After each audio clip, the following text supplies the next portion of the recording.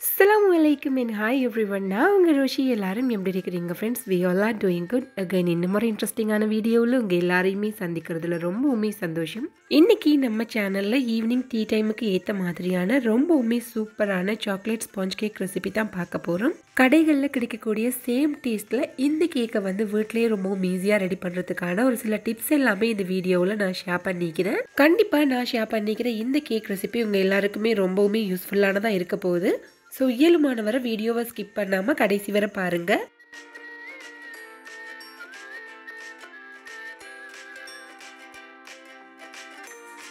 ஃபஸ்ட்டுக்கு chocolate sponge cake செய்கிறதுக்கு தேவையான எல்லா இன்க்ரீடியன்ஸையுமே நான் இந்த மாதிரி மெஷர் பண்ணி எடுத்து வச்சுக்கிட்டேன். கேக் செய்கிறதுக்கு ஸ்டார்ட் பண்ணும்போது நீங்கள் ஃபாலோ பண்ண வேண்டிய ஃபர்ஸ்ட் டிப் என்னன்னு சொல்லி பார்த்தீங்கன்னா கேக் செய்கிறதுக்கு தேவையான பொருட்கள் எல்லாத்தையுமே ஒரு மெஷர்மெண்ட்க்கு கப் அல்லது ஒரு ஸ்கேல் வச்சு சரியான அளவுகளில் வந்து ஃபர்ஸ்ட்டுக்கு மெஷர் பண்ணி எடுத்துக்கொள்ள வேணும். இது எதுவுமே இல்லாத சந்தர்ப்பத்தில் நார்மலாக நாங்கள் வீட்டில் யூஸ் பண்ணுற ஸ்பூன் டீ கப் இதுகளை யூஸ் பண்ணி கூட சரியான அளவுகளில் மெஷர் பண்ணி எடுத்துக்கொள்ளலாம். கேக் செய்யும் போது இந்த மாதிரி சரியான அளவுகளில் சேர்த்து செய்தோன்னு சொன்னால் எங்களோட கேக் கேக்கோட அவுட்புட்டுமே வந்து ரொம்பவுமே பர்ஃபெக்டாகவே வரும். இதுக்கப்புறமா நாங்கள் செய்ய வேண்டிய அடுத்த வேலை பார்த்தீங்கன்னு சொன்னால் எங்களோட கேக் பேட்டர் ரெடி பண்ணுறதுக்கு முதல்ல எங்களோட கேக் டின்னை வந்து ரெடி பண்ணி வச்சுக்கொள்ள வேணும்.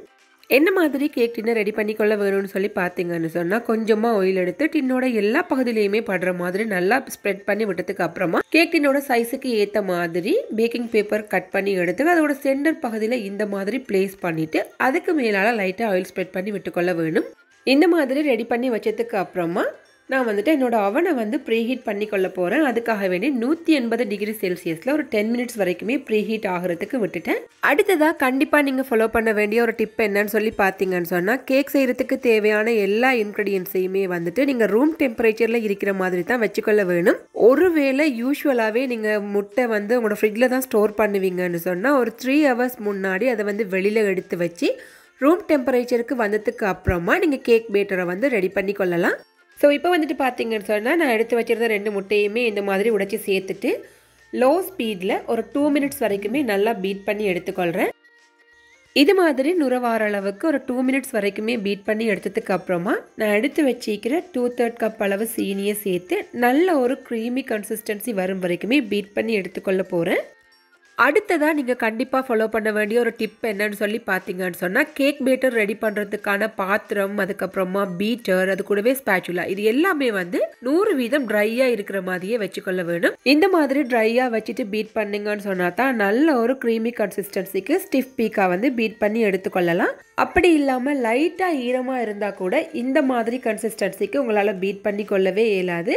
ஸோ இந்த மாதிரி நீங்கள் மிஸ்டேக் விட்டீங்கன்னு சொன்னால் உங்களோட கேக்குமே வந்து சம்டைம் ஃப்ளாப் ஆகிடும் இனி இது கூட வாசம் எதுவுமே இல்லாத அரை கப் அளவு எண்ணெய் சேர்த்து ஒரு ஒன் மினிட் வரைக்குமே பீட் பண்ணி எடுத்துக்கொள்கிறேன் எண்ணெய் சேர்த்ததுக்கு அப்புறமா ரொம்ப நேரமெல்லாம் பீட் பண்ணிடவே கூடாது. நாங்கள் சேர்த்திக்கிற எண்ணெய் வந்து அந்த முட்டை மிக்ஸோட வந்து நல்லா மிக்ஸ் ஆகிற மாதிரி ஒரு ஒன் மினிட் பீட் பண்ணினாலே போதுமாக இருக்கும். கூடவே ஒரு டீஸ்பூன் அளவு வெனிலா எசன்ஸ் சேர்த்துட்டு வெனிலா எசன்ஸ் வந்து மறுபடியுமே அதோட நல்லா மிக்ஸ் ஆகிற மாதிரி பீட்டரை லோ ஸ்பீடில் வச்சு லைட்டாக மிக்ஸ் பண்ணி எடுத்துக்கொள்கிறேன் இது மாதிரி நல்லா பீட் பண்ணி எடுத்ததுக்கு அப்புறமா இதுக்கு மேலே ஒரு ஸ்டெய்னர் வச்சுட்டு எங்களோட ட்ரை இன்க்ரீடியன்ஸ் எல்லாத்தையுமே சேர்த்து கொள்ளலாம். இதுக்காக அரை கப் அளவு ஆல் பர்பஸ் ஃப்ளா வந்து சேர்த்திக்கிறேன். இதை இந்தியாவில் மைதா மாண்டு சொல்கிறாங்க கூடவே கால் கப் அளவு கொக்கோ பவுடர் அரை டீஸ்பூன் பேக்கிங் சோடா ஒரு டீஸ்பூன் பேக்கிங் பவுடர் இது எல்லாத்தையுமே சேர்த்து நல்லா அரிச்செடுத்துட்டு அதுக்கப்புறமா ஒரு ஸ்பேச்சுலா வச்சு கட் அண்ட் ஃபோல்ட் மெத்தடில் மிக்ஸ் பண்ணி எடுத்துக்கொள்ள வேணும். எப்போவுமே ட்ரை இன்க்ரீடியன்ஸ் சேர்க்கறதுக்கு முதல்ல நல்லா அரைச்செடுத்ததுக்கு அப்புறமா தான் வெட் இன்க்ரீடியன்ஸோட சேர்த்து மிக்ஸ் பண்ணி எடுத்துக்கொள்ள வேணும். ஒருவேளை நீங்கள் அரைக்காமல் சேர்க்குறீங்களா இருந்தால் கொக்கோ பவுடர் அதுக்கப்புறமா ஆல் பர்பஸ்லாம் இதில் உள்ள கப்பிகள் எல்லாமே சேர்ந்து எங்களோட கேக் வந்து ஃப்ளாப் ஆகிறதுக்கு ஒரு ரீசனாகவே ஆயிடும். அண்ட் ட்ரை இன்க்ரீடியன்ஸ் சேர்க்கும் போது நீங்கள் கவனிக்க வேண்டிய இன்னொரு விஷயம் பார்த்தீங்கன்னு சொன்னால் நாங்கள் சேர்த்திக்கிற எல்லா ட்ரை இன்க்ரீடியன்ஸையுமே மொத்தமாக சேர்த்துறாமல் ஒரு மூணு அல்லது நாலு பெச்சாக ஸ்ப்ளிட் பண்ணி கொஞ்சம் கொஞ்சமாக சேர்த்து அதை நல்லா மிக்ஸ் பண்ணி எடுத்ததுக்கப்புறமா அடுத்த பெச்சு சேர்த்து மிக்ஸ் பண்ணி கொள்ள வேணும். நான் இன்றைக்கி எடுத்திக்கிற ட்ரை இன்க்ரீடியன்ஸ் எல்லாத்தையுமே ஒரு மூணு பெச்சாக ஸ்ப்ளிட் பண்ணி தான் சேர்த்திக்கிறேன் இப்போ அரைக்கும் போது பார்த்தீங்கன்னு சொன்னால் ஃபைனலாக இந்த மாதிரி கிடைக்கிற கட்டிகள் எல்லாத்தையுமே ஒரு ஸ்பூன் வச்சு லைட்டாக நசிச்சு விட்டு அரிச்சு எடுத்துக்கொள்ள வேணும். நீங்கள் ஒரு வேளை அரிக்காமல் சேர்த்திங்கன்னு சொன்னால் நான் இந்த கட்டிகள் எல்லாமே சேர்ந்து கேக் ஃப்ளோப் ஆகும்னு சொன்னேன் இல்லையா? ஸோ அது வந்து இந்த மாதிரி தான் நடக்கும். அதுக்காகத்தான் நாங்கள் இதை வந்து அரிச்சு சேர்த்துக்கொள்கிறோம் ட்ரை இன்க்ரீடியன்ஸ் எல்லாத்தையுமே சேர்த்ததுக்கு அப்புறமா ஃபைனலாக இது கூட ஒரு கால் கப் அளவு மில்க் சேர்த்து மறுபடியுமே கட் அண்ட் ஃபோல்ட் மெத்தடில் நல்லா மிக்ஸ் பண்ணி எடுத்துக்கொள்ள வேணும். நாங்கள் செய்கிற சாக்லேட் கேக் வந்து கடைகளில் கிடைக்கக்கூடிய கேக்கிற கலர்லேயே இருக்கணும்னு சொன்னால் நாங்கள் கண்டிப்பாக ரெண்டு விஷயத்தை வந்து ஃபாலோ பண்ணி ஆக வேணும். அதில் ஒன்று வந்துட்டு பார்த்தீங்கன்னு சொன்னால் நாங்கள் சேர்க்குற கொக்கோ பவுடர் வந்து நல்ல பிராண்டடான கொக்கோ பவுடர் சேர்க்கும் போது அந்த கலர் வந்து கிடைக்கும். அதுக்கப்புறமா பார்த்தீங்கன்னு சொன்னால் ஒரு கால் கப் அளவு மில்க் சேர்த்து நல்லா மிக்ஸ் பண்ணும்போது அந்த மில்க் வந்து கொக்கோ பவுடரோட கலரை என்ஹான்ஸ் பண்ணி அதுவுமே நாங்கள் செய்கிற சாக்லேட் கேக்குக்கு நல்ல ஒரு கலரை வந்து கொடுக்கும். ஃபைனலாக நாங்கள் ரெடி பண்ணின கேக் பேட்டரை வந்து ஆல்ரெடி ரெடி பண்ணி வச்சுக்கிற டின்னில் சேர்த்துட்டு இனி அவனில் வச்சு பேக் பண்ணி எடுத்துக்கொள்ள வேண்டியது தான் அண்ட் இந்த கேக்கை ரெடி பண்ணும்போது நீங்கள் ஃபாலோ பண்ண வேண்டிய இன்னும் ஒரு டிப் என்னன்னு சொல்லி பார்த்தீங்கன்னு சொன்னால் நீங்கள் வெட் இன்க்ரீடியன்ஸ் எல்லாத்தையுமே பீட்டர் அல்லது விஸ்க் வச்சு நல்லா பீட் பண்ணி எடுத்ததுக்கு பிறகு நீங்கள் ட்ரை இன்க்ரீடியன்ஸ் சேர்த்ததுக்கு அப்புறமா பார்த்தீங்கன்னு சொன்னால் பீட்டர் வச்சு ஒரு காலமுமே மிக்ஸ் பண்ணக்கூடாது. அதனால் ஒரு ஸ்பேச்சுலா வச்சு கட் அண்ட் ஃபால்ட் மெத்தடில் நீங்கள் பீட் பண்ணி வச்சிக்கிற முட்டையோட உயரம் தாழ்ந்து போகாத மாதிரி மிக்ஸ் பண்ணி எடுத்துக்கொள்ள வேணும்.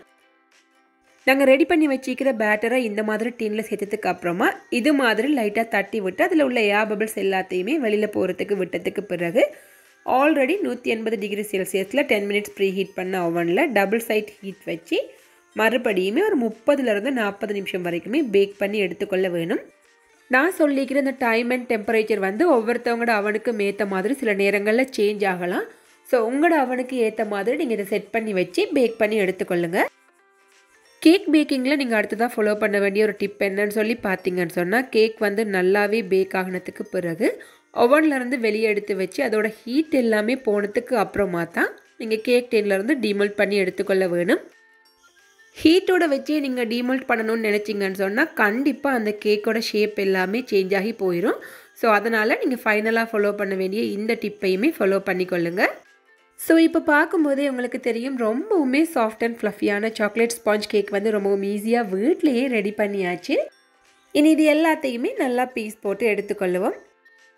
ஸோ இந்த ஸ்பாஞ்ச் கேக்கை வந்து நீங்களுமே ரொம்பவும் ஈஸியாகவே ரெடி பண்ணிக்கொள்ளலாம். நீங்கள் பிகினர்ஸாக இருந்தாலுமே கூட பரவாயில்ல. நான் சொல்லிக்கிற எல்லா டிப்ஸையுமே ஃபாலோ பண்ணி செய்யும்போது ரொம்பவுமே சூப்பரான கேக் வந்து உங்களாலையுமே செய்ய முடியும். ஸோ நான் சொல்லிக்கிற மெஷர்மெண்ட்டில் நான் சொல்லிக்கிற எல்லா டிப்ஸையுமே ஃபாலோ பண்ணி இந்த சாக்லேட் கேக்கை உங்கள் வீட்லேயுமே நீங்கள் ட்ரை பண்ணி பாருங்கள் கண்டிப்பாக உங்கள் வீட்டில் உள்ளவங்க எல்லாருமே திருப்ப திருப்ப கேட்டு வாங்கி சாப்பிடுவாங்க. அந்த அளவுக்கு ரொம்பவுமே டேஸ்டியான கேக் தான் இது. ஈவினிங் டைமில் இந்த கேக்கோட சேர்த்து ஒரு டீயுமே குடிக்கும்போது அது இன்னுமுமே ரொம்பவுமே அல்டிமேட்டாக இருக்கும். ஸோ அதுக்காக வேண்டி நான் இன்றைக்கி ஒரு சிம்பிளாக ரெடி பண்ணக்கூடிய கெரமல் டீ ரெசிபியுமே உங்களுக்காக வேண்டி ஷேர் பண்ணிக்கிறேன். இந்த டீயை வந்துட்டு மில்க் பவுடர் அல்லது மில்கில் கூட நீங்கள் ரெடி பண்ணி கொள்ளலாம் ஸ்ரீலங்காவில் உள்ளவங்க பெரும்பாலுமே வந்து மில்க் பவுடர் தான் யூஸ் பண்ணுவாங்க. ஸோ நானுமே வந்து மில்க் பவுடர் தான் பெரும்பாலுமே யூஸ் பண்ணுவேன். நான் இன்றைக்கி சொல்கிற அளவு வந்துட்டு ஒருத்தருக்கு டீ ரெடி பண்ணுறதுக்கான அளவு தான் ஸோ ஒன்றரை டேபிள் ஸ்பூன் அளவு மில்க் பவுடர் சேர்த்து கூடவே கொஞ்சமாக சுடு தண்ணியுமே சேர்த்துட்டு நல்லா மிக்ஸ் பண்ணி எடுத்து வச்சுக்கிட்டேன்.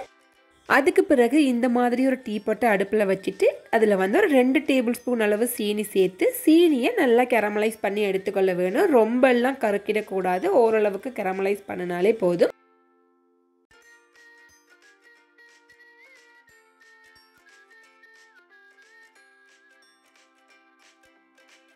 இந்த அளவுக்கு நல்லா சீனியை கருக்கி எடுத்ததுக்கு அப்புறமா இது கூட கொஞ்சமாக சுடுதண்ணி சேர்த்து டைலூட் பண்ணி எடுத்துக்கொள்கிறேன் சுடுதண்ணிக்கு பதிலாக நீங்கள் நார்மல் வாட்டர் சேர்த்து டைலூட் பண்ண போகிறீங்கன்னு சொன்னால் சில நேரங்களில் கருக்குன சீனி வந்து கட்டியாகிடும்.